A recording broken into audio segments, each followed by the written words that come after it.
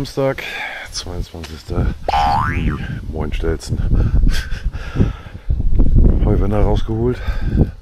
Mähwerke sind am 7.16.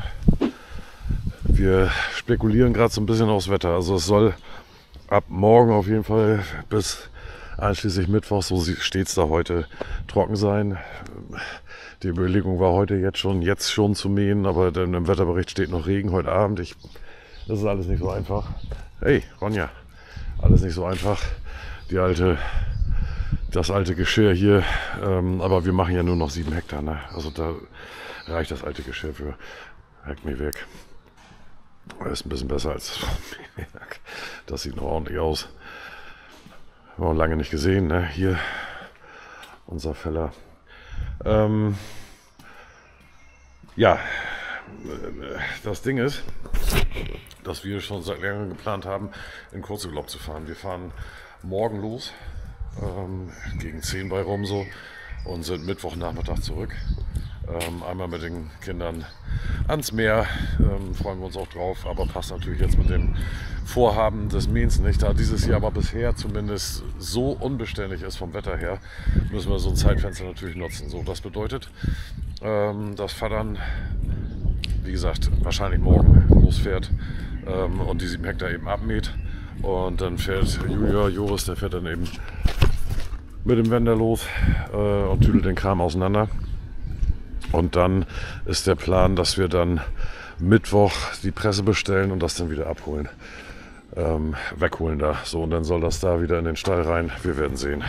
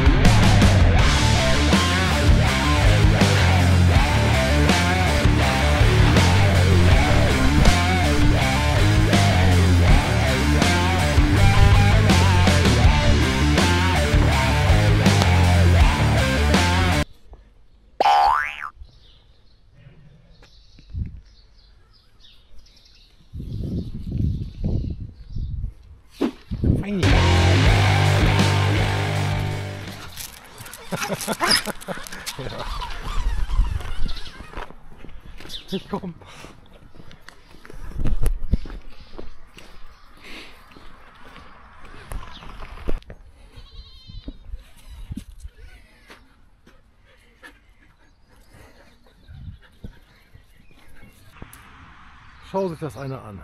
Der Olaf, der hat eine, eine Geheimtür entdeckt, hinten lang.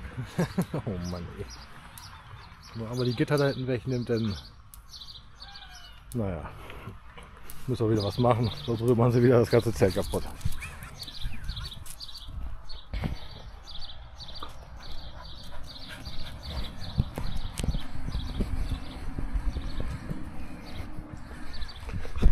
Ja, hier ist auch schon soweit frei. Gucken, wie wir das Dach wegkriegen hier. LKW noch weg. Bin mal gespannt, wann er kommt, wann das hier losgeht.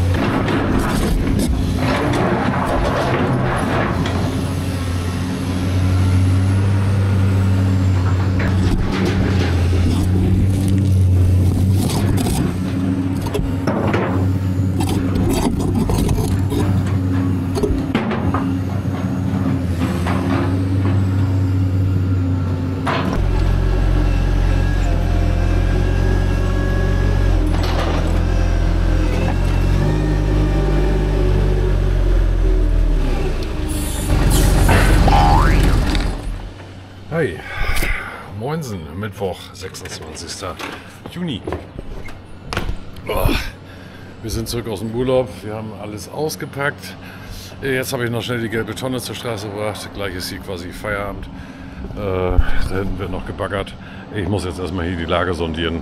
Und dann sehen wir uns morgen frisch wieder bei der Arbeit. Ne? Also bis morgen.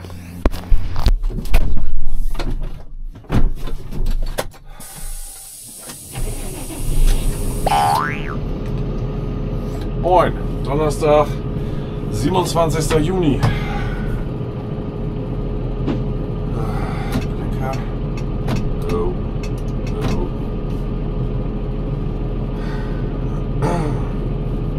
So. Wir los. Auf Stelzen nach Schesel. Pamira Sammelaktion. Gestern und heute für uns. Gestern, nee, ich habe die gestern Abend noch aufgeladen. Hatte ich da die Kamera noch an? Ich glaube nicht, ne? Gestern Abend noch aufgeladen. Und diese Bus-Terminal wurde vom Benutzer ausgeschaltet. Was ist das jetzt wieder? Ähm, ach, wegen der Spritze. Jetzt fahre ich sie hin. Wir haben es 8 Uhr. Ich hoffe, dass noch nicht so viel los ist. Heute soll es wieder extrem heiß werden, irgendwie 32 Grad. Und dann heute Nachmittag ist, sind, äh, ist ein Gewitter angekündigt. Fällt die Temperatur um 10 Grad, sagen sie, aber nicht viel Regen. Mal gucken, was kommt. Ähm, Sonntag, glaube ich, dann der nächste Regen und auch ein bisschen mehr. Wir lassen uns mal überraschen. Bleibt uns wie immer sowieso nichts. Die Lüftung ist ein bisschen laut, ne? Bleibt uns sowieso nichts anderes übrig.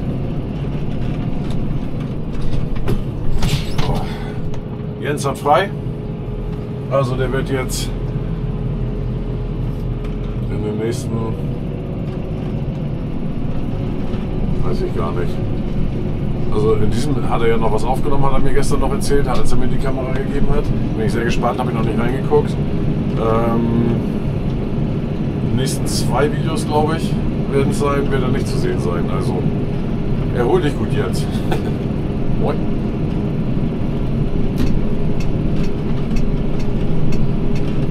Ja, und wie gesagt, wir fahren jetzt erstmal nach Schesel, ganz gemütlich mit dem Gummiwagen. Danach geht es dann los, dann schreibe ich eure Bestellung erstmal raus, was Ina dazu machen hat an, an äh, Klamotten und dann geht's heute Nachmittag ein bisschen, aber morgen dann so richtig mit dem Packen los. Also es, ich hatte ja im letzten Video schon erzählt, ich hatte mein Verpackungsmaterial war aus, das ist Gott sei Dank die Tage jetzt auch gekommen, das ist alles da. Naja, und losgelöst davon waren wir dann jetzt ja auch noch ein paar Tage weg. Ähm, also bitte ich nochmal um Verständnis. Aber wenn ihr dieses Video seht, sollte eigentlich alles raus sein, was jetzt offen ist. Ja, das schaffe ich. Ist auch nicht so viel. Also, auf nach Schießen.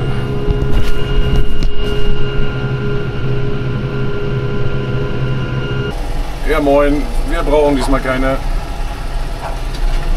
Danke ebenso, tschüss.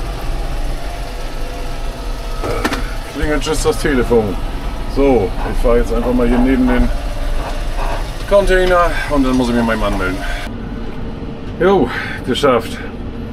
Plastik weggebracht und neues Plastik mitgenommen. Wir brauchten noch ein paar Stöcker, um in den Kartoffeln ein bisschen abzustecken.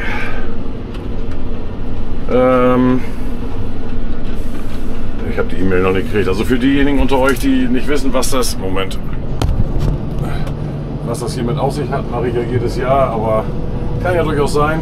Und Pamira, könnt ihr mal gucken. Pamira.de ist glaube ich sogar die Webadresse und das ist Entsorgung von Pflanzenschutzkanistern. Und da gibt es dann, das sollte jetzt auch schon da sein, die Mail, eine E-Mail mit dem Entsorgungsnachweis. Und das Wichtigste in Deutschland, falls es von jemand von euch noch nicht weiß, merkt es euch, schreibt es euch hinter die Ohren oder am besten auf den Zettel. Das Wichtigste in Deutschland ist, dass du einen Zettel hast. Wenn du einen Zettel hast, kann dir nichts passieren. Aber du brauchst einen Zettel. So, moin. Gerstenernte ist voll in Gang. Hier wird fleißig angeliefert.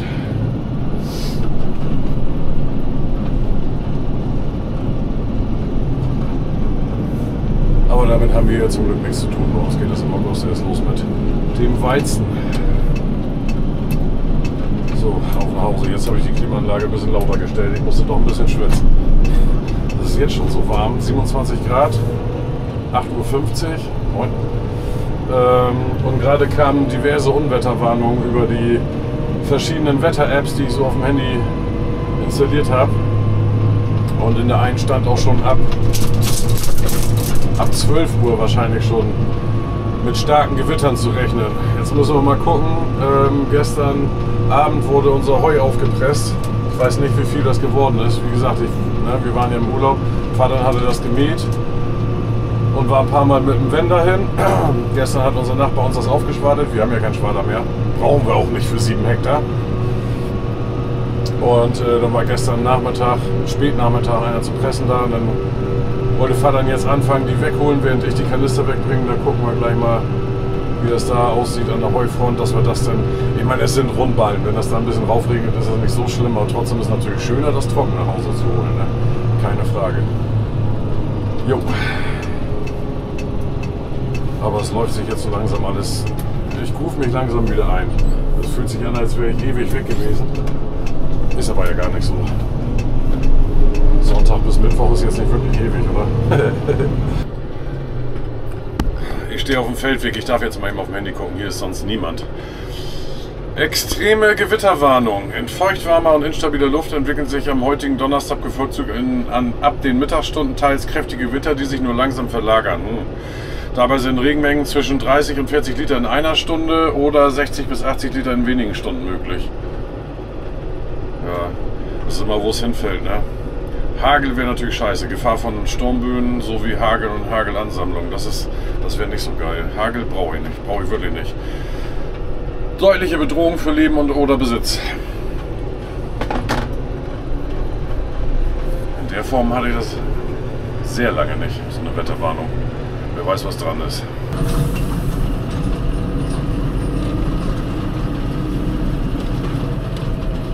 wo ist er hingefahren? Da hinten.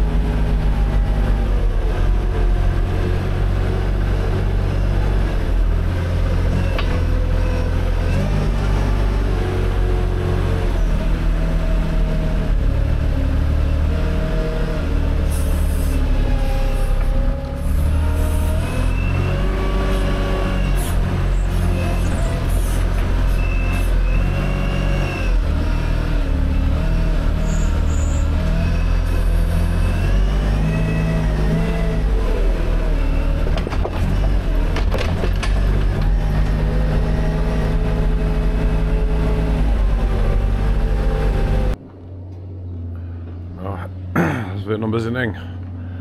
Das wird noch ein bisschen, passt nicht. oh Mann.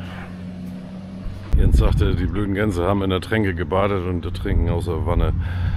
Aber jetzt gerade wird alles frisch gemacht. Mal gucken, was sie jetzt machen. Lass die Tränke sauber. Ja, das ist doch kacke. Ja, und hinterher wieder schimpfen. Gibt nichts Sauberes zu saufen. Ist richtig. Oh, Bagger, baggert. Da übrigens auch super. Ähm, da muss Mineralgemisch rein. Unterm Beton. Die ganze Halle ist auf Sand gefurzt. Nein, da ist der Beton, die Sohle auf Sand. Ganz normal, Baugrund, wie beim Haus auch. Kein Problem. Seit 24 Jahren hält das. Aber seit 2024 ist das statisch nicht mehr funktionabel. Muss Mineralgemisch rein. Muss alles immer extra mehr kosten, ne? Bekloppt. Ja, jetzt baden sie. Ja, können wir noch mal kurz gucken. Jetzt baden sie auch in der Badewanne. Sehr gut. Passt hier gar nicht alle drei rein, oder was? Muss ich nochmal eine andere suchen.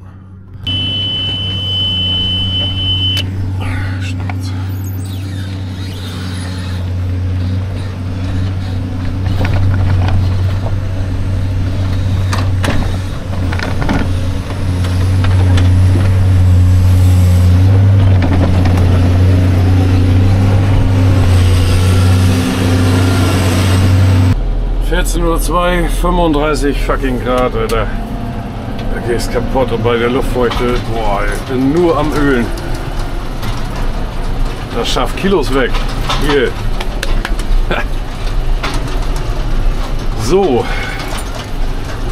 Wettervorhersage, die sind sich, also die, die sagen alle was anderes. Das ist egal. Ob du jetzt den Weather Channel guckst oder Kai Zorn oder DVD, YouTube oder die ganzen Apps ist überall anders. Das ist doch nicht mehr wahr. Also, wem auch immer man glauben soll, es soll auf jeden Fall, auch, das sagen, sind sich fast alle einig, bis auf zwei Apps sagen, nö, gibt kein Gewitter. Aber die anderen sind alle der Meinung, es gibt heute noch Gewitter. Zwischen 16 und 18 Uhr irgendwann. Und die einen reden von Starkregen mit äh, Überflutungsgefahr und die anderen sagen, es gibt 4 Liter. Ich weiß es nicht.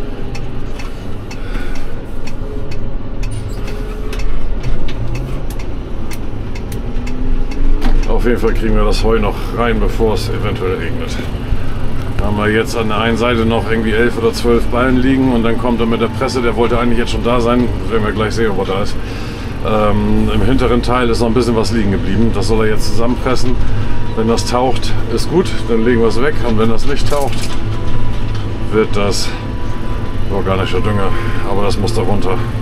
Das muss auf jeden Fall weg. Ich hatte erst tatsächlich gedacht, ob man das nicht vielleicht irgendwie auseinanderkehren kann und dann lass gut sein, aber das ist einfach zu viel. Das liegt so dick.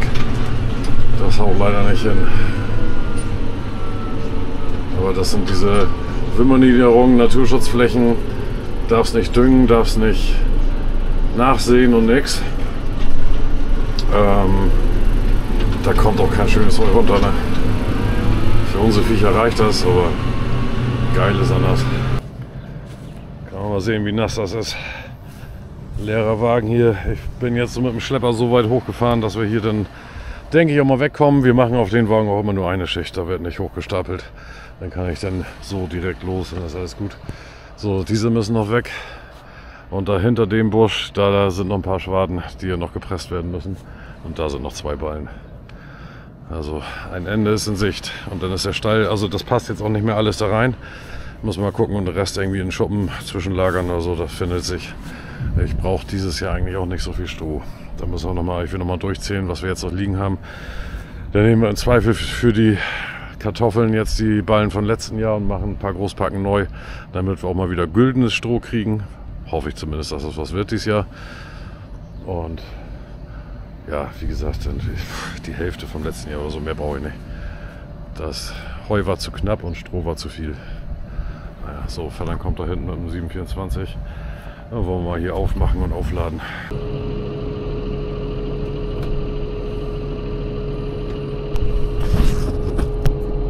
Pressen fertig.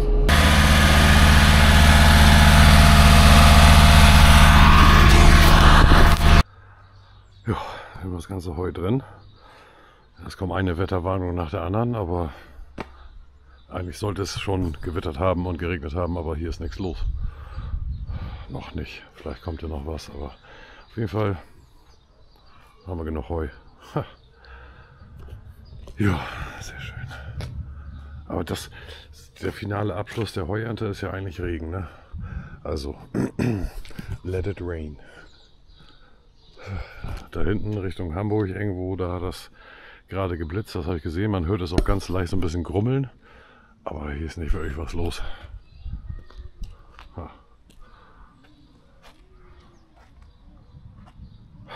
Wir werden sehen. Wenn es noch gewittert, mache ich die Kamera wieder an. Und wenn nicht, sehen wir uns morgen. Bis morgen.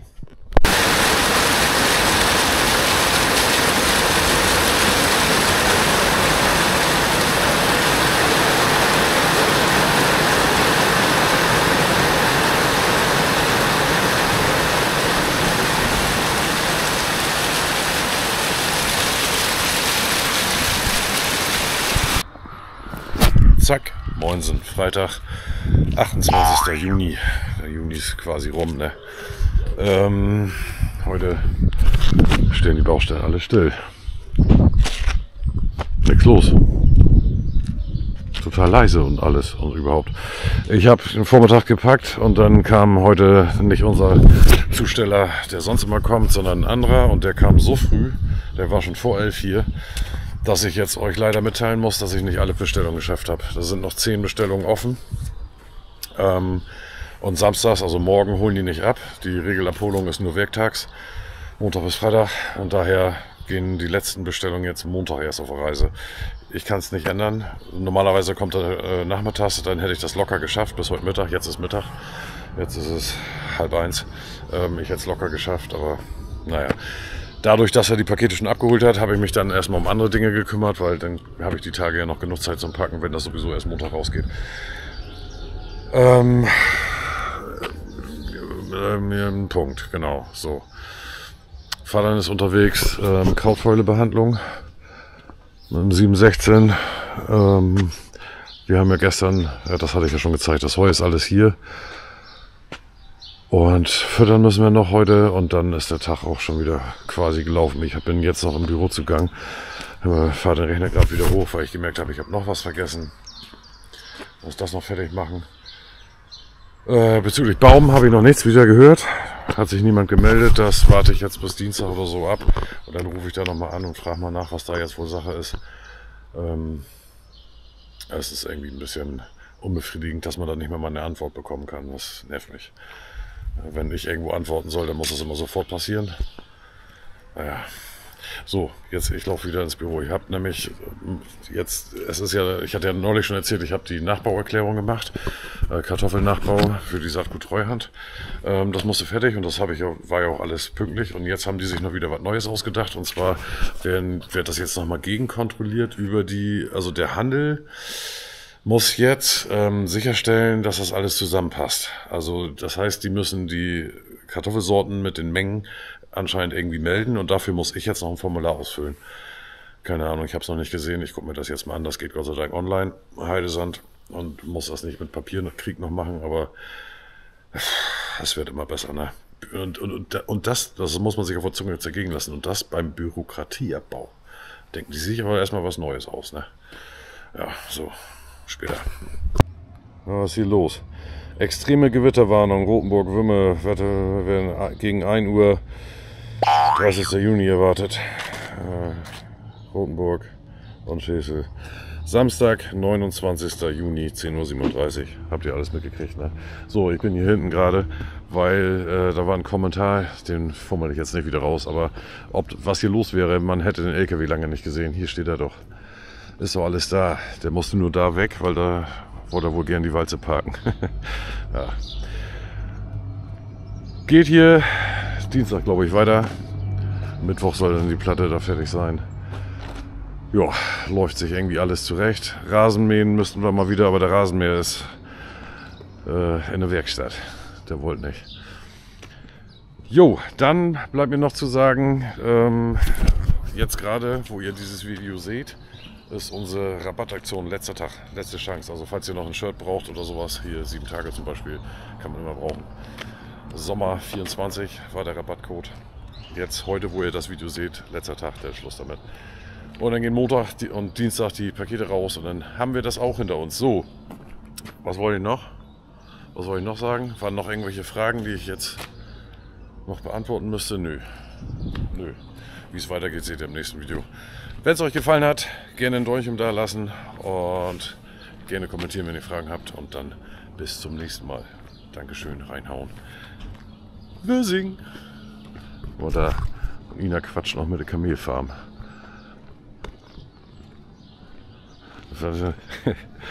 Fahren dann fünf Meter weiter, dann quatschen wir wieder ein bisschen. Da könnte man sich eigentlich auch hinsetzen und noch einen Kaffee trinken. Ne? Ich frage ihn nochmal, ob er vielleicht doch noch einen Kaffee will. So, jetzt aber Schluss hier. Thank you.